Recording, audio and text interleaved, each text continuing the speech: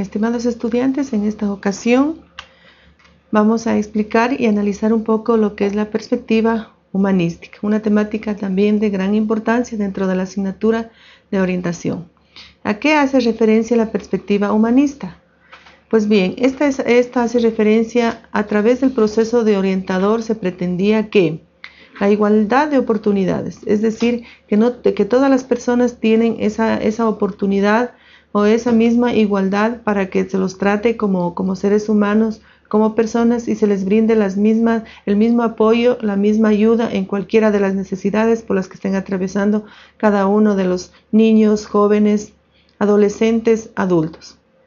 Destinada a jóvenes de condición social humilde. ¿sí? Esta perspectiva nos habla de que no solamente la orientación o el apoyo o la ayuda solamente se van a dar a, jóvenes de, clase social baja eh, o, a, estudiantes o a jóvenes que tengan posibilidades económicas o un estatus social elevado, sino que también esta perspectiva eh, humanística también se destina a los jóvenes de condición humilde, aquellas personas que no han, no han tenido la oportunidad, por ejemplo, de, tener este, económicamente, de estar bien, de vivir en condiciones muy adecuadas, de estar en un barrio eh, con todas las comunidades, sino que eh, a estas personas también brindarles el apoyo que ellos necesitan en cualquiera de las problemáticas que se encuentren atravesando.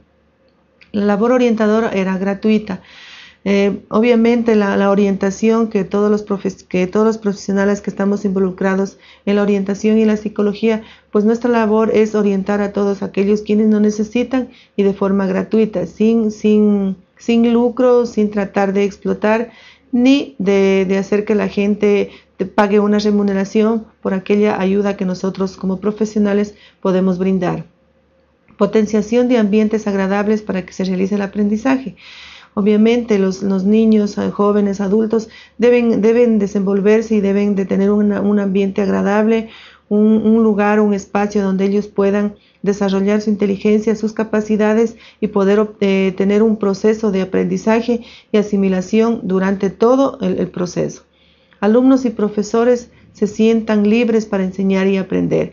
También es, una, en esta perspectiva es algo tan importante el hecho de que los alumnos y los profesores se sientan libres para enseñar, es decir, no, tengan, no se sientan obligados a tener que trabajar con, los niños, con los jóvenes, sino que tengan esa vocación y ese interés y ese compromiso por ayudar a todos quienes lo necesitan y por hacer que, esas personas aprendan de todos nosotros lo poco que nosotros podamos saber o lo, o lo poco, lo bastante que podamos dar, sentirnos libres para poder enseñar y también aprender, porque no solamente nuestra función es enseñar, sino también aprender de las experiencias buenas y malas que nos brindan nuestros, nuestros estudiantes. El niño aparece como un ser con derechos, con capacidades e interés propio.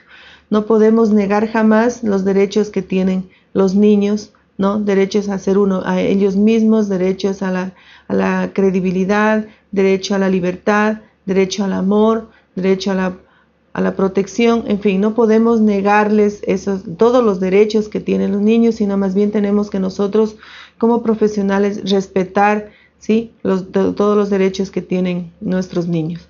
La escuela se torna en un espacio más agradable para el niño en el cual el juego y la palabra sustituyen la disciplina de la sangre. Esto se refiere un poco al sistema tradicional ¿no? En el, en el, cual simplemente el profesor era el que tenía la palabra, era la autoridad y el proceso de enseñanza-aprendizaje guiaba en torno al docente, al profesor. En tanto que ahora lo que nosotros tenemos que hacer y la escuela es tornarse en un espacio más agradable para el niño, en la que el niño sea el ente principal, el actor principal de la enseñanza del aprendizaje, donde se le, donde se le permita que él construya su, su propio conocimiento, donde se le permita que el niño pueda preguntar, que pueda mm, cuestionar al docente, que pueda exponer sus propios, sus propios criterios y no solamente decir que el maestro es el que tiene la última palabra.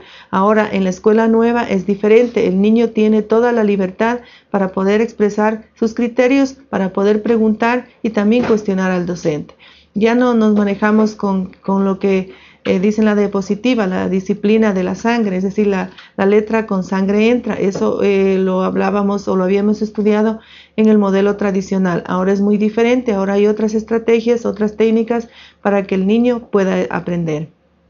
El niño opina, pregunta y participa. Se rescata el aire libre y las actividades grupales.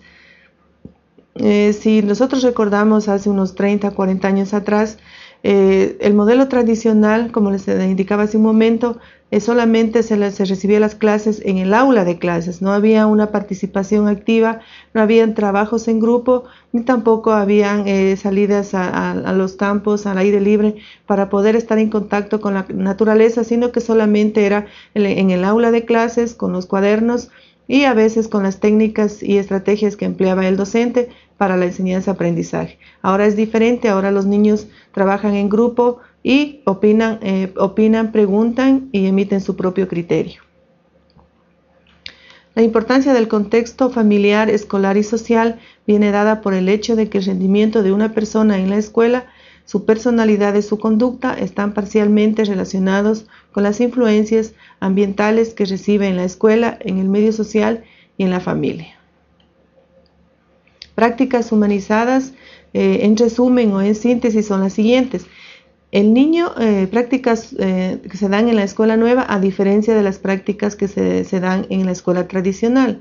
En la escuela nueva, el niño aparece como un ser con derechos, con capacidades e interés propio, la escuela se torna en un espacio más agradable para el niño en el cual el juego y la palabra sustituyen la disciplina de la sangre. El niño opina, pregunta y participa. Se rescata el aire libre y las actividades grupales. La escuela nueva cuida, protege y cultiva el interés y la autonomía durante el proceso educativo. A diferencia de la escuela tradicional, educación reducida a transmisión de informaciones y normas inhibe la formación de personalidades libres, autónomas y seguras, verbalista e intelectualista y enciclopedista, centrado solo, solo en libros y profesor. Memorista privilegia conocimientos específicos de manera receptiva. La motivación impulsa al proceso intelectual en la escuela nueva, motivación intrínseca, formación de individuos autónomos. La escuela permite al niño actuar y pensar a su manera, favoreciendo un desarrollo espontáneo. En la escuela tradicional es pasiva, concentrarse en aprendizajes repetitivos, formal y autoritaria, poder del maestro para orientar, seleccionar y direccionar la vida educativa. Magistocentista, el maestro es la base y condición del éxito de la educación. A él le corresponde organizar el conocimiento, aislar y elaborar la materia que ha de ser aprendida, trazar el camino y llevar por él a sus alumnos. El maestro es el modelo y el guía al que se debe imitar y obedecer. La disciplina y el castigo se consideran fundamentales. La disciplina y los ejercicios escolares son suficientes para desarrollar las virtudes humanas en los alumnos. El castigo, ya sea de forma de reproches o de castigo físico, estimula constantemente el progreso del alumno. En resumen, la escuela nueva, en este, en este esquema podemos ver que la escuela nueva forma individuos autónomos y en la escuela tradicional forma individuos memoristas y pasivos. La perspectiva humanista comienza a desarrollarse en 1960 como el movimiento cognitivo. Actualmente en Estados Unidos de Norteamérica se la conoce como la tercera fuerza en psicología después del psicoanálisis y el conductismo. El humanismo surge en oposición al auge de las teorías psicológicas que definen al hombre como un producto de su ambiente. Las ideas que se destacan son la importancia que se le asigna al individuo a la libertad personal, al libre albedrío, a la creatividad individual y a la espontaneidad.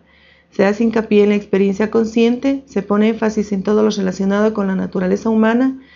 Las del movimiento humanista fueron, las raíces del movimiento humanista fueron William James, la teoría de la gestal, Adler Jung, Horner, Erickson y Alport. Bien, esto lo podemos, eh, ha sido una síntesis de lo que nos habla la, la perspectiva humanista. Muchas gracias.